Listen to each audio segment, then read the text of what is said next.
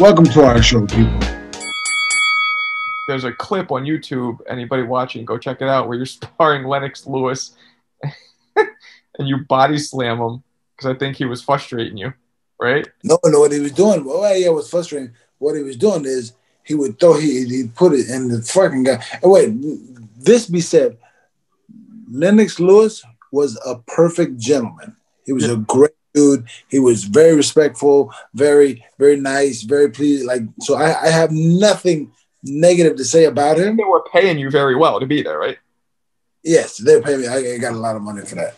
But, but I'm saying, and, and but Lennox so Lennox, you listening, dude, you're a fucking great dude. I, and then I would love to, to hang out with you or have a drink with you or whatever. What? but he was doing this. And you tell me what you would do. Uh huh.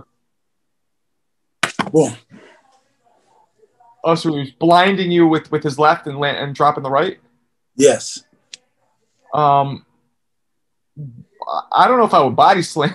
but but, but I mean, and let me say, and, and, oh, this is what happened. This is what happened, and it wasn't that I wasn't like a premeditated thing. Like, uh-huh.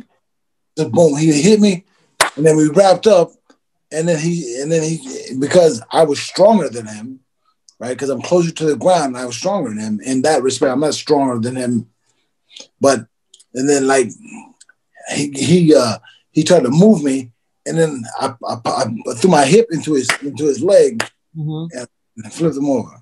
It wasn't premeditated at all. And that's because you were getting so what was frustrating you was that he kept like you know covering you with the with, with the left and then dropping the right. Yes, uh. which is hundred percent illegal. And Emanuel Steward, rest in peace, wasn't saying anything to him.